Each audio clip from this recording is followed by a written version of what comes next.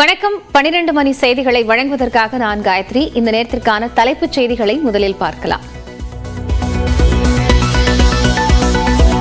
கோவை குன்னூரில் குடியிருப்புக்குள் புகுந்து ஏழு பேரை தாக்கிய சிறுத்தை ஒன்பது மணி நேரமாக வீட்டிற்குள் பதுங்கியுள்ள சிறுத்தையை காட்டிற்குள் விரட்ட வனத்துறை தீவிரம்.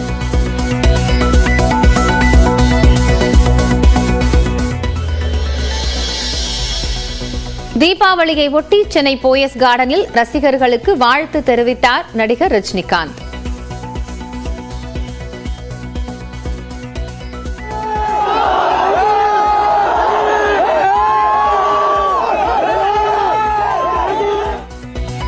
ரசிகர்கள் உற்சாக கொண்டாட்டம்.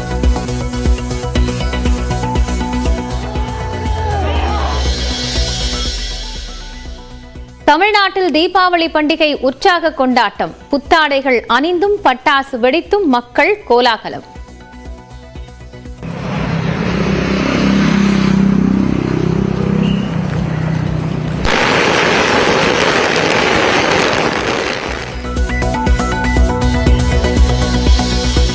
உற்சாகமாக தலை தீபாவளியை கொண்டாடும் தம்பதிகள். பட்டாசு வெடித்து சந்தோஷத்தை பரிமாறிக்கொண்டனர்.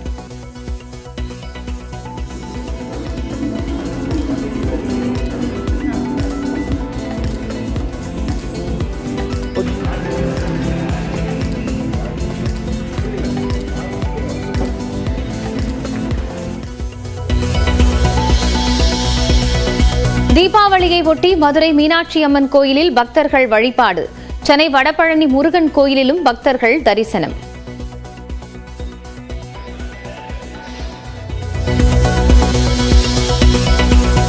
தீபாவளியை ஒட்டி தஞ்சை பெரிய கோயிலில் சிறப்பு அபிஷேகம். காஞ்சிபுரம் காமாட்சி அம்மனுக்கு சிறப்பு அலங்காரம் செய்து வழிபாடு.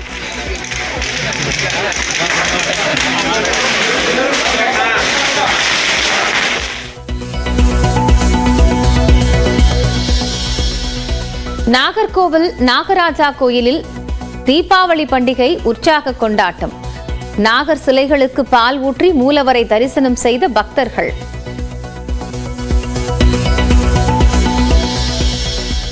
மதுரையில் நீண்ட வரிசையில் காத்திருந்து இறைச்சி வாங்கிய மக்கள்.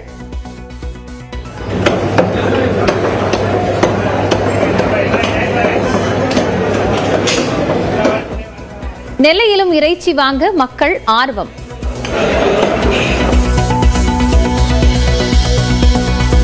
தீபாவளியை கொண்டாட சென்னையிலிருந்து அரசு பேருந்தில் ஐந்தரை லட்சம் பேர் பயணம். விடுமுறை நாளில் வெறிச்சோடிய தாம்பரம் ஜிஎஸ்டி சாலை.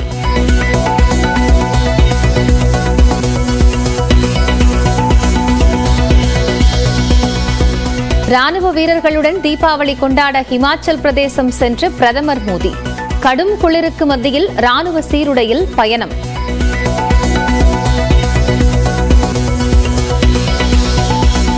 குடும்பத்துடன் ஒன்று கூடி தீபாவளி கொண்டாடிய இந்திய கிரிக்கெட் அணி வீரர்கள். ஒருவரை ஒருவர் ஆற தழுவி வாழ்த்துக்களை பரிமாறி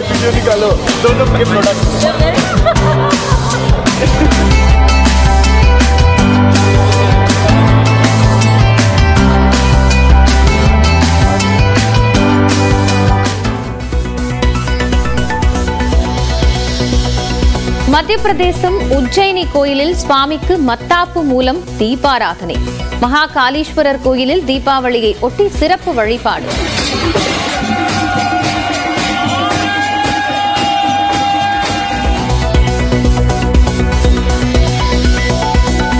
தீபாவளியை ஒட்டி கோவாவில் எரிக்கப்பட்ட நரகாசுரன் உருவ பொம்மை. கல்லெறிந்தும் கொண்டாட்டம்.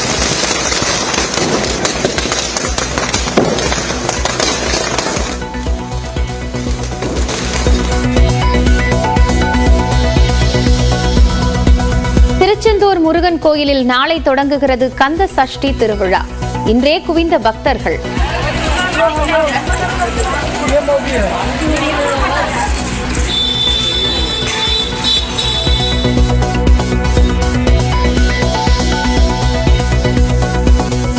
எம்டிஎம்எஸ் உள்ளிட்ட உயர் சிறப்பு முதுநிலை மருத்துவ படிப்பில் ஐம்பது விழுக்காடு இடங்களை தமிழ்நாடு அரசே நிரப்பிக்கொள்ள மத்திய அரசு அனுமதி. சுகாதாரத்துறை அமைச்சர் மா. சுப்பிரமணியன் தகவல்.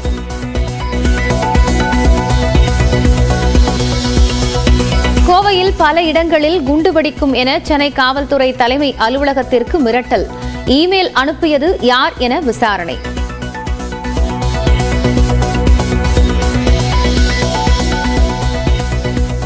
ரஜினிகாந்த் நடிப்பில் வெளியானது லால் சலாம் படத்தின் டீசர்.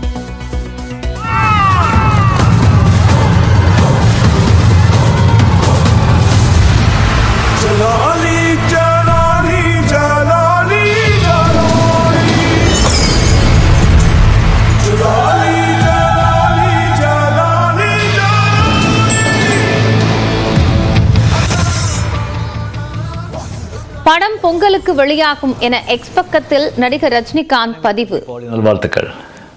ஒரு பொங்கல் அன்னைக்கு லால் சலாம் படத்தில் உங்களை சந்திக்கிறேன். மொய்தீன் பாய்.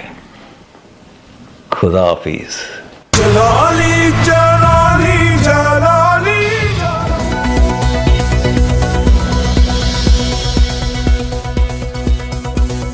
உலகக்கோப்பை தொடரின் லீக் சுற்று இன்றோடு நிறைவு. சம்பிரதாய போட்டியில் நெதர்லாந்துடன் மோதுகிறது இந்தியா. நீலகிரி மாவட்டம் குன்னூரில் ஒன்பது மணி நேரமாக வீட்டிற்குள் புகுந்துள்ள சிறுத்தையை வெளியே விரட்ட வனத்துறையினர் தீவிர முயற்சி மேற்கொண்டு வருகின்றனர். கூடுதல் விவரங்களோடு செய்தியாளர் ஐயாசாமி இணைகிறார். அவரோடு பேசலாம். ஐயா சாமி இப்போ எந்த அடிப்படையில வந்து வனத்துறையினர் அந்த சிறுத்தையை வெளியேற்றுவதற்கான நடவடிக்கை மேற்கொண்டிருக்கிறார்கள்? தற்போதைய சூழல் எப்படி இருக்கு? அஹ், குன்னூர் புரூக்லேண்ட் பகுதியில் இன்று அதிகாலை சுமார் ஒரு நான்கு மணி அளவில் நாயை வேட்டையாட வந்த சிறுத்தை வீட்டிற்குள் சென்று தஞ்சமடைந்துள்ள சம்பவம் பெரும் பரபரப்பை ஏற்படுத்தியுள்ளது. பெரும்பாலும் நீலகிரி மாவட்டம் அடர்ந்த வனப்பகுதிகள் என்பதால் வனவிலங்குகளின் நடமாட்டம் என்பதும் அதிகமாகவே காணப்படும். குறிப்பாக இந்த குன்னூர் பகுதிகளில் கரடி சிறுத்தைகளின் நடமாட்டம் அதிகமாக காணப்படுகிறது. கடந்த சில நாட்களுக்கு முன்பு கூட இந்த சிறுத்தை வீட்டில் வளர்க்கும் செல்ல பிராணிகளை வேட்டையாடி சென்றது மக்களிடையே பெரும் அச்சத்தை ஏற்படுத்தியது.